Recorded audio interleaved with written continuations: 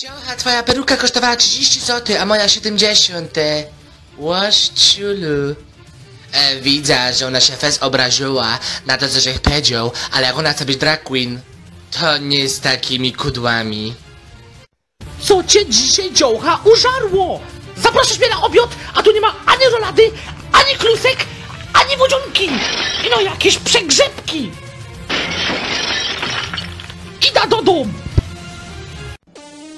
Dziocha, ty wyglądasz jak manekin z Ciucholandu. Wola wyglądać jak manekin z Ciucholandu niż mieć taką klota jak ty, jak wgnieciony karton. I zostaw mnie w spokoju, bo zaraz ci przywala. Czym mi przywalisz? Tym pudrem z fak maktora. Czemu żeście się rozstali z Bradem? Ciężko mi o tym gadać, ale on miał szwaja.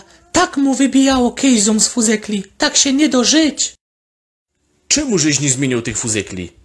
To nie jest tak, że ja nie zmienił, no. Ja co dwa tygodnie zmienił te fuzekle. Angelina trochę przesadza, nie? Ja myślał zawsze, że to ładniej szwaja tak wali.